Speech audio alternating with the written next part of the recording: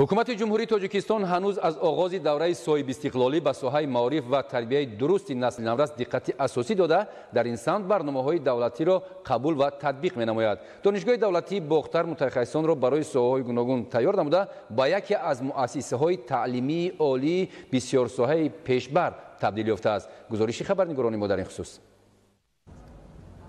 муассисаи давлатии таълимии коллеҷи махсусгардонидашудаи шаҳри бохтар дар тарбияву омода намудани мутахассисони баландпояи гуногуни хоҷагии халқ аз қабили соҳаҳои аграрӣ иқтисодӣ тиббии бойторӣ ва техникии кишоварзии кишвар саҳми арзанда дошта. Имрӯзҳо аз рӯи даҳ ихтисос мутахассис омода менамояд.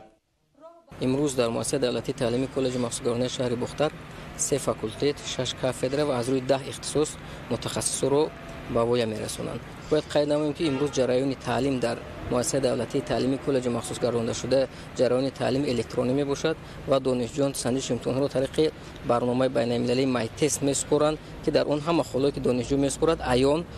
дар худи донишҷӯ муайян мегардад ва омили инсонӣ дар ин ҳолати имтиҳонсупорӣ вуҷуд надорад дар муассисаи мазкур дар қатори омӯзгорони ҷавону собиқадор инчунин зиёда аз даҳ нафар профессорону номзадони илм ба донишҷӯён таълим медиҳанд. Муассиса вобаста ба талаботи бозори меҳнат барои донишандозии донишҷӯён шароитҳои лозима аз қабили синфхонаҳои муҷаҳҳаз бо айёниятҳои дарсӣ озмоишгоҳҳо барои гузарондани машғулиятҳои амалӣ тахтаҳои электронӣ проекторҳо китобхона ва толори варзишӣ муҳайё карда шудааст. Дар муассиса 75 ҳазор номгӯи китоб мавҷуд аст ки онҳо ба забони русӣ тоҷикӣ англисӣ ва ба забони узбекӣ ҷамъоварӣ карда шуданд. Инчунин корҳои илмию тадқиқотии устодон. Дар муассиса панҷ доктор псg имрӯз фаъолият мекунанд ва ду устод аллакай дар арафаи ҳимояи номзадӣ мебошанд ки аз ҷониби худи устодон дар соли таҳсили 18 ду монография ва зиёда 260 мақолаҳои илмӣ рӯи чоп омад. Дар муассиса се лаборатория фаъолият мекунанд ки пайваста дарсҳои лабораторӣ бо мутахассисони баландихтисос дар ҳамон лабораториё гузаронида мешаванд ки лаборатория тибби бойторӣ озмоишгоҳи агрономӣ ва лабораторияи мошинҳои кишоварзӣ мебошанд. Инчунин синфхонаи компютерӣ барои супоридани санҷиши имтиҳонҳо низ мавҷуд мебошад. Қобили зикр аст ки муассисаҳои таҳсилоти миёнаи касбӣ дар тамоми ҷаҳон яке аз зинаҳои асосӣ ва афзалиятноки соҳаи маориф ба шумор меравад зеро ин гуна муассисаҳо вобаста ба талаботи бозори меҳнат мутахассисони соҳаи гуногуни хоҷагии халқро омода месозанд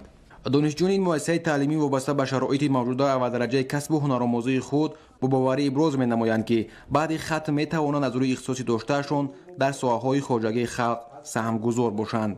боиси ифтихор аст ки мо ҳамчун ҷавонони давлати соҳибистиқлол дар ин коллеҷи махсусгардонидаи шаҳри бохтар ки ба тариқи тестӣ дохил шуда айни замон ҳамчун донишҷӯи курси дуюм таҳсил карда истодам дар ин даргоҳ омӯзгорони пуртаҷриба ва боистеъдодӣ ҳастанд ки аз фанҳои гуманитарию рӯёзӣ ба мо дарсҳоро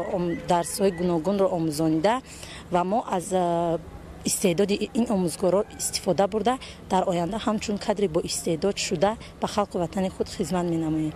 коллективи омӯзгорони муассисаи давлатии таълимии коллеҷи махсусгардонидашудаи шаҳри бохтар бо мақсади омода намудани мутахассисони баландихтисос ва ба ин восита сам гузоштан дар таъмини яке аз ҳадафҳои стратегии кишвар таъмини амнияти озуқаворӣ аз ҳама шароитҳои мавҷуда мақсаднок истифода менамоянд